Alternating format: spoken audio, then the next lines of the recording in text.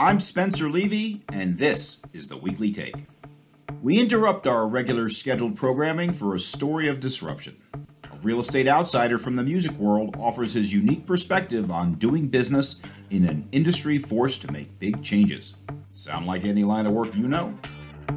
On this episode, a self professed rockonomist, rock economist, that is, on business evolution, innovation, and more. We stared into the abyss, spent 10 years making matters worse, pivoted, and spent the next 10 years making matters better than ever before.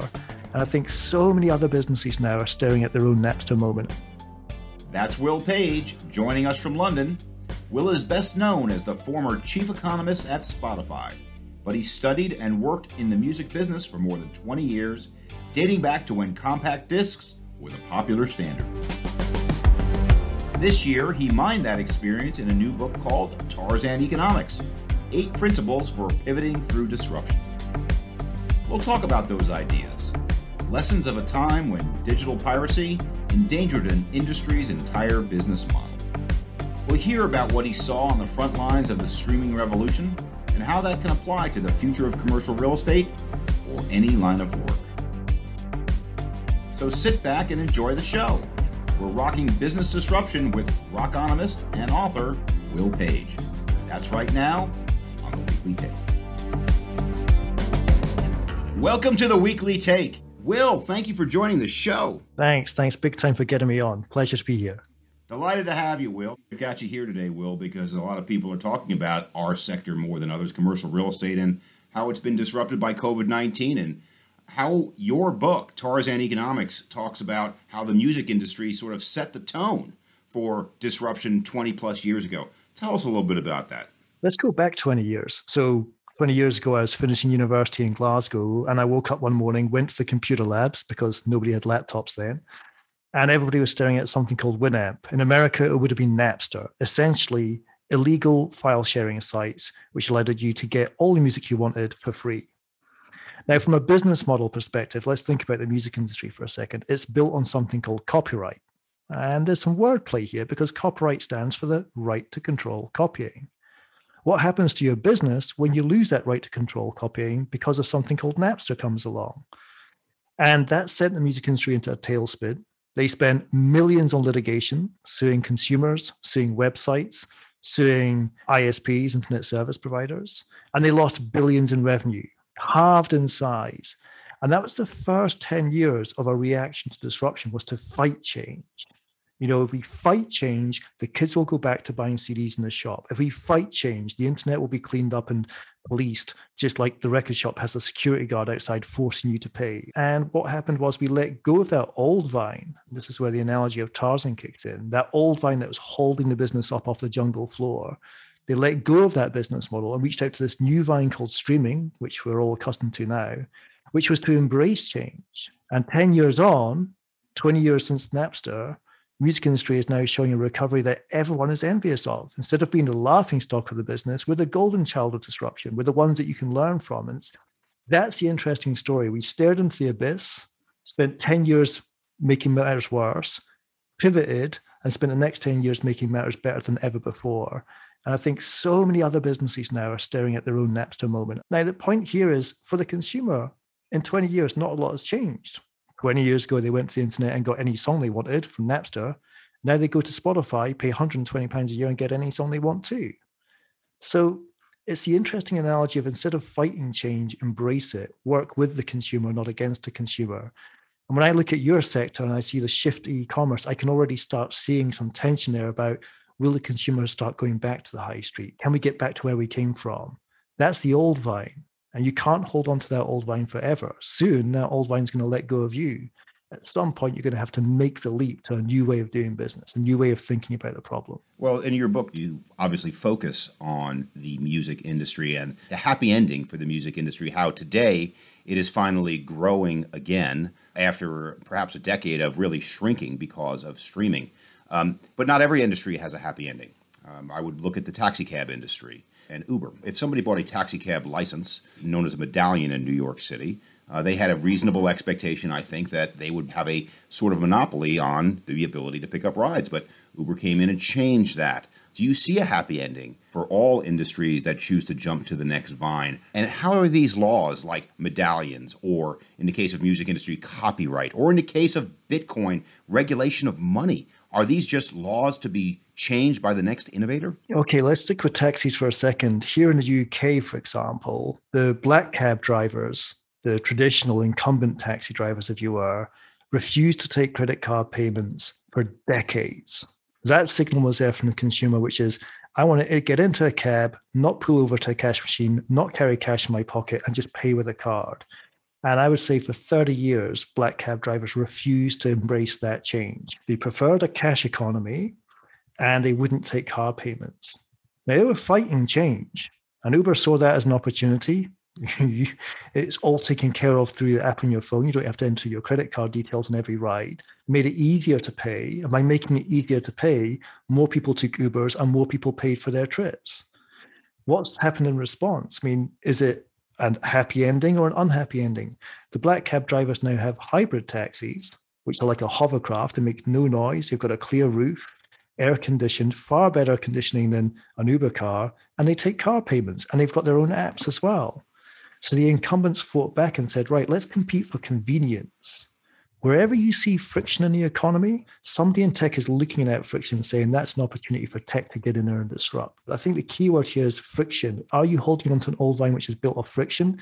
If so, get ready to jump off because that old vine's going to let go of you soon. And we saw that in the taxi wars. Let's go back to music for a moment before we get into the analogies with commercial real estate. There have been some critics, I'd say respectfully, to Spotify and streaming. Uh, among them, Neil Young and uh, Taylor Swift have been pretty mm-hmm. vocal in their objection. Um, and then I'll give you another example. My favorite band of all time is Led Zeppelin. The reason why I like Led Zeppelin, other than their overall greatness, was how productive they were in the first 18 months of their career. They made. I know. Led Zeppelin one through four in 18 months. You then take a modern band like the Alabama Shakes, which I also love, and they've only produced two albums in their 10 plus years of existence.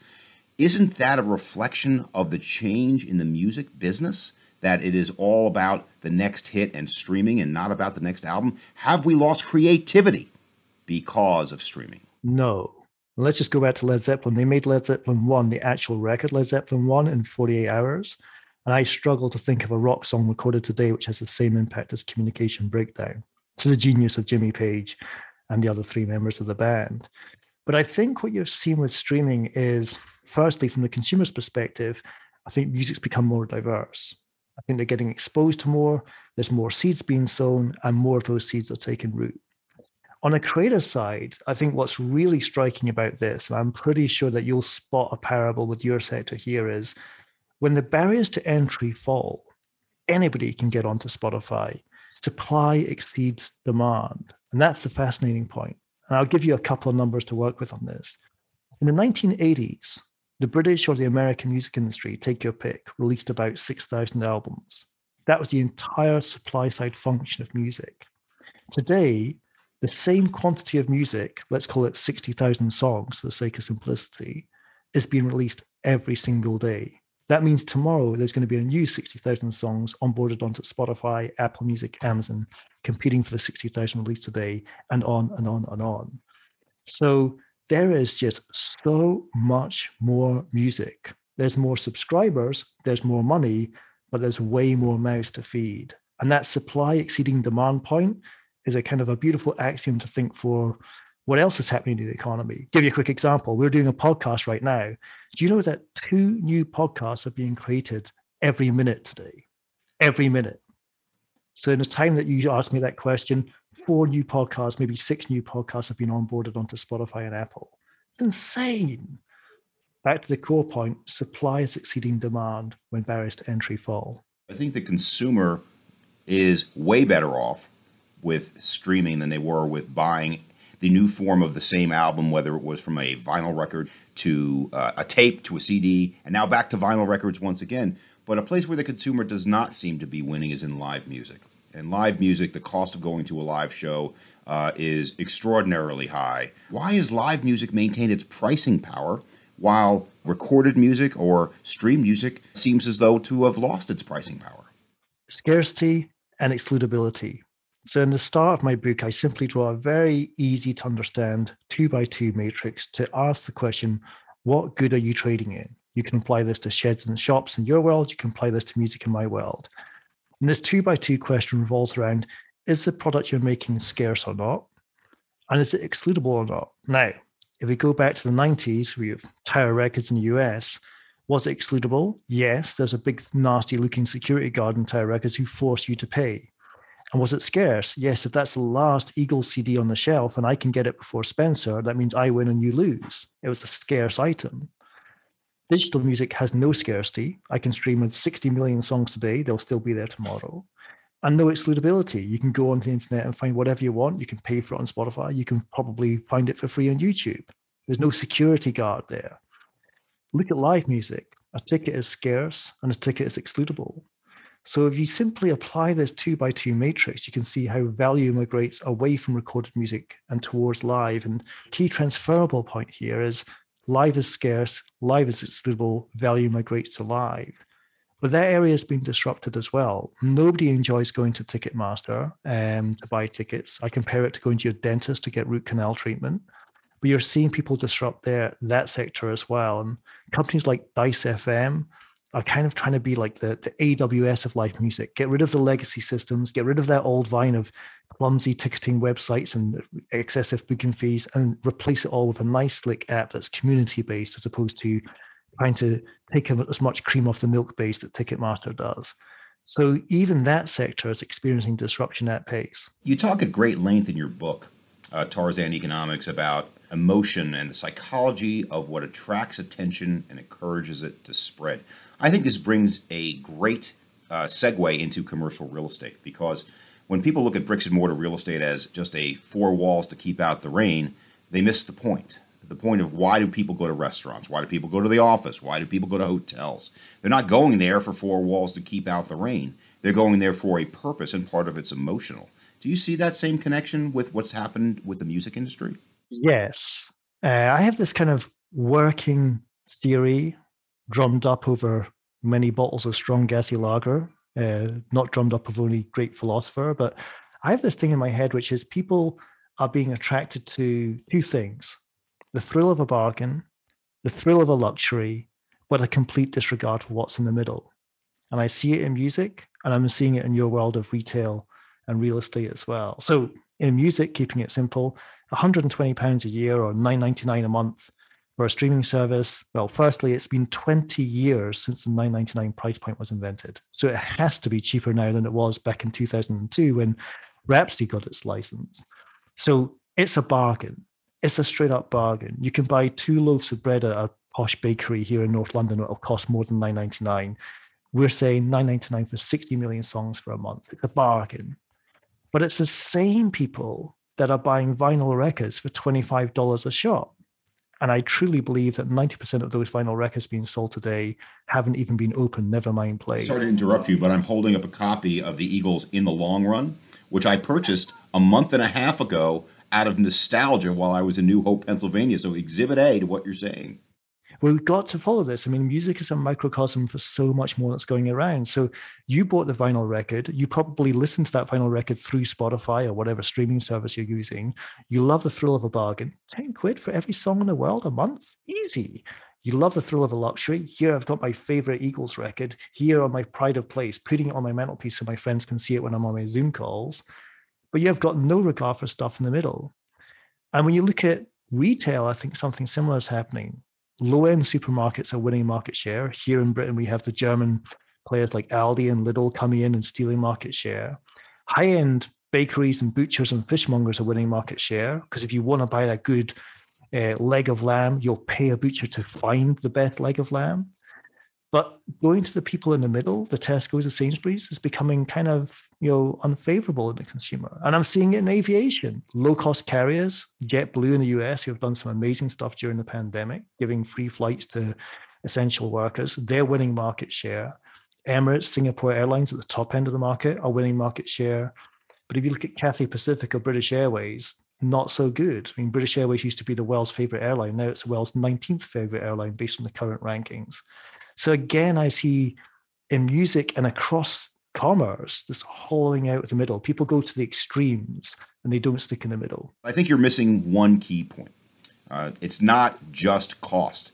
People aren't pure economic actors. They are emotional actors. That's why people buy luxury goods. But that's also why people go to restaurants and bars to have the same meal that they can make at their home. So, talk a little bit further about how emotion might be the future of bricks and mortar real estate before we get beyond retail to the others. I'm fond of saying that the internet can scale just about anything, but it cannot, it will not be able to scale intimacy. When you talk emotion, I'm thinking intimacy. Intimacy becomes the new currency that we're all chasing. You bring up what is maybe my favorite economist in the world, Richard Thaler. Uh, in your book and, and behavioral economics because i believe that behavioral economics is the key to the future of everything not just real estate tell me how behavioral economics plays into some of your ideas in your book tarzan economics what behavioral economics did was essentially look down the psychology department corridor and said, Is there any ideas here I can steal and dress it up as economics? That, in my opinion, is what behavioral economics is, and good on them. And I love that work, not just Richard Thaler, but Tversky, Kahneman, many others. The example I give in the book was a feature that many of your listeners who use Spotify will be familiar with, which is Discover Weekly. Very simply, Discover Weekly says, I want to give Spencer 30 songs every Monday curated just for Spencer's taste. So all that sort of New York disco music that you love, YMCA and all those tracks, we know that we have that in our data. So we're going to get you back to those New York discos in the 1970s every Monday with a playlist just for your taste. So we launched that. We've launched countless playlists which try to do something similar.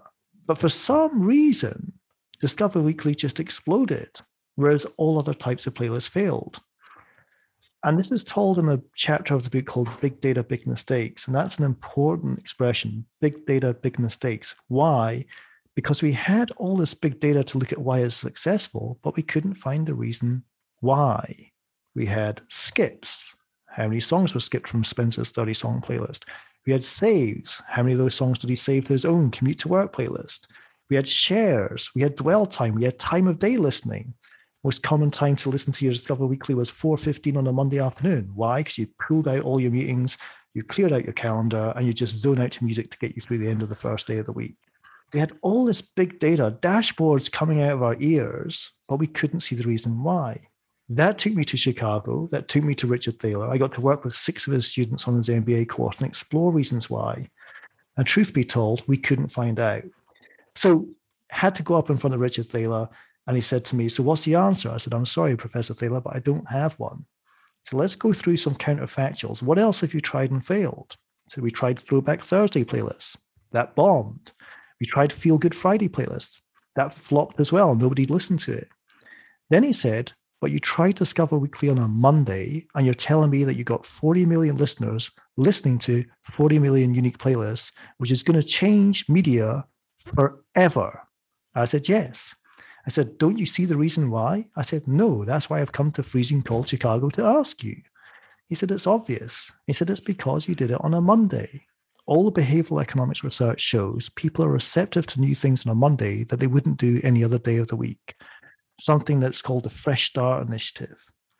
As soon as he said that, Spencer, my mind went straight back to North London, the Kentish Town Tube Station on the Northern Line, and it's only Mondays when they promote gym membership. It always has been. It's only Mondays where they promote a new yoga class or they launch a new newspaper. It's Mondays where people are receptive to new things. And that's a great example of behavioral economics spotting something that is intuitively obvious. To anyone who runs a gym, this is old news. But all the data scientists with PhDs couldn't spot the answer. I think that's a beautiful way of just trying to rebalance the addiction to big data with a little dose of common sense. Well, that's why most businesses that I've been involved with have our weekly meetings on Mondays uh, because that is that is something figured out that Monday's a good day for it.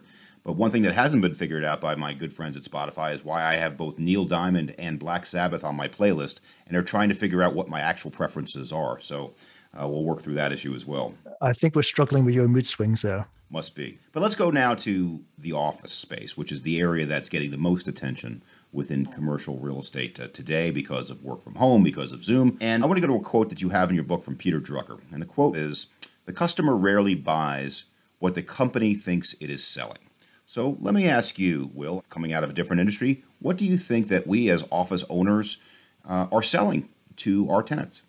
The intention might be to allow workspace for productivity to flourish. That is, how many people do you employ? You know, what's your head count? What's your requirements? Um, this is your floor space. You know, I think what we're going to see as we come out of lockdown is what you're actually selling as a place for culture to flourish. I'm kind of passionate on this point. Culture cannot flourish on Zoom calls. Culture cannot flourish on Teams meetings. Culture cannot flourish on Slack channels. I'm pretty sure you'll start to see casualties on the hard shoulder of the internet already appearing there as people start to realize just how valuable it is for me to sit with Spencer in a room at a meeting, then walk out with Spencer after that meeting and talk to him in his ear in the corridor about something I noticed in that meeting. That intimacy, back to that word intimacy, is priceless. You can't put a price on something that's priceless. So, what you're going to be in the business of selling is a place for culture to flourish. So, culture as space, and I guess how we make that space as inviting as possible to create that culture. The nature of what that space is is changing in certain ways, and one of the ways that it's changing is there's a greater preference for flexibility to have some of the space that you have long term, so you have short term. There's greater desire for outdoor amenities for wellness. Um, there's also a greater a desire for uh, what people call differentiated product. So on this podcast, about a month and a half ago, we had senior executives from a big developer called Hines, and they were talking about uh, buildings that they're building out of wood, office buildings, cross laminated timber, which is sort of like going back to vinyl records and music. And why are they going back to wood? Because people are getting an emotional connection to the physical structure. They talked about people physically touching the building, much as I'm physically touching my Eagles record today. That's inspirational. I often cite the Danes the way that they tackle design is just phenomenal. When you go to Copenhagen International Airport, they have a polished wooden floor. Now, I don't do design. You know, partly I'm colorblind, so I can't appreciate design as well as I should. But to see a polished wooden floor in an airport, you know what? I don't mind that my flight's delayed for two hours. I'll sit in this lovely space with a polished wooden floor, read a book instead. No great shakes. It feels like a library. You give me a Heathrow standard floor, this gets me in a bad mood. Small nuanced differences in design can have a huge impact. And again, I, I stress I'm not a designer at heart, but Spotify had this lovely way of having themes, be it color, fabric, themes in our offices. So no matter where you traveled in the world, you felt you were at home at Spotify. So I fly to San Francisco. I walk into the office. It's like, yeah, I recognize this furniture. It's not identical to what I'm used to, but it's got a theme, a recurring theme to it. I might be lacking sleep. I might be feeling rotten, but I actually feel at home in this office and I can execute this piece of work. That doesn't come from a sort of stack stack 'em high, sell sell 'em cheap mentality. Those days are over. That's an old line. You've got to let go of that. This comes from a much more nuanced culture. So what we're selling now is that. Let's go big picture for a moment here. Mm-hmm. Where can we apply Tarzan economics beyond the business context? And one thing that you mention uh, in your book is climate change. Is, is how do we tackle that? Uh, mm. And you express that climate change is the classic common good pool or the tragedy of the commons. But does Tarzan economics teach us any lessons that may allow us to tackle that big problem? Yeah, I think uh, building off what I said last, what often happens is what matters most is being measured least. And we can measure productivity, but we don't measure the cost of that productivity. Things such as the climate are hard to measure things. Things such as gridlock because of legal complexity are hard to measure what might have happened. We don't do a good job of measuring counterfactuals. So I think weaning ourselves off the addiction to this thing called gross domestic product, this metric that we base election results upon, this metric that we base the performance of our central banks on, I think that would be a good start because the gross domestic product was not there to measure the impact of the climate. And in fact, if you go back to the origins of gross domestic product or GDP for short, Simon Kuznets, who invented it in 1939, the original premise was a great measure to gauge the country's ability to go to war. Guns and butter. I can give you more guns or I can give you more butter, but I can't give you both. That was the kind of origins of GDP. That was 1939. Here we are in 2021, and we're still addicted to this measure when there's so much more that matters. So, back to that key mantra of what matters most is being measured least. And I think a good start to understand things such as the climate change, and particularly in the world of sheds and shops that you're in, the impact of what your business is doing with the climate, positive and negative, would be to wean ourselves off traditional metrics like GDP. Well, interesting. I had several debates on GDP versus standard of living. Is standard of living the right index? Standard living can help, but how on earth do you normalize and measure that without invading people's privacy? Is my gut reaction to that one. Um, I'll give you one that I think that has some merit, and it's it's featured in my book. It's very briefly a story about the chief economist at the Bank of England, a chap called Andy Haldane, a very very bright, novel, maverick, original thinking economist, and he said he wanted to use Spotify data to predict the next recession. Huge PR like issues with this. You know, is Spotify giving our central bank private data? Is Spotify going to increase the cost of our mortgages? You can forget Neil Young and Taylor Swift complaining about us. Every person in the country would be complaining about interest rates going up because of Spotify at this rate. None of it was true. Nobody was trading data. It was just a flippant remark by the bank. But we got him to explain himself. He said, Well, here's how I look at the world. As it currently stands, and this is 2018, I think because of the Brexit negotiations, which weren't going well at this point, anxiety is a bigger issue. I'm more worried about anxiety amongst the consumers than I am about manufacturing orders based on survey recall evidence. And I'll look wherever I can for signals about anxiety before I set interest rates, as opposed to trotting a survey around a manufacturing plant. And we just fell in love with it. What a beautiful thing for a central bank chief economist to say. Why can't we have more people thinking like that? Back then, all the Europeans living in Britain didn't know whether they would continue living here. They were nervous and they had mortgages and they spent money and they're driving your business of logistics and sheds and shops alike. There was anxiety in the economy. Now, you could have a PhD in economics, but you don't have a PhD in understanding anxiety. That's a different discipline. That's a different vine. Well, I will tell you how to predict uh, when the next recession is going to come is when my playlist includes more Johnny Cash and Olivia Newton John's Have You Ever Been to Mellow? Because those are my happy places. Uh, that's when I'm nervous. I listen to those. Uh, Spencer, here's a cash prize question for you, sir. Um, March the 13th was an important day for two reasons. One, it's my birthday, and two, it's when Donald Trump locked down America last year. What was the most streamed song on Spotify on March the 13th last year?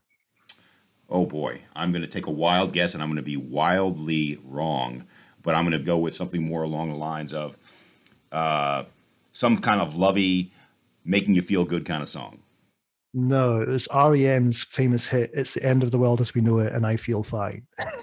there you go. Signals of anxiety that you wouldn't find in manufacturing orders. You understand my point? I mean, it's a joke because it actually is true, but it's very relevant to saying, you know, what matters most is being measured least. We've got to tattoo that on our foreheads because you know, we get awash of all this data thinking that's telling us what's going on. It's got nothing to do with what's going on. Get to the humans, get to the emotion, get to the intimacy and try and understand that instead. I'm with you there. So, Bitcoin is obviously a classic example of a disruptor. Um, and uh, I'm going to take the counterpoint here. I'm not saying it's good or bad.